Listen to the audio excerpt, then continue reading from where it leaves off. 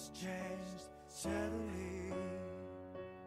I lost my dreams in this disaster.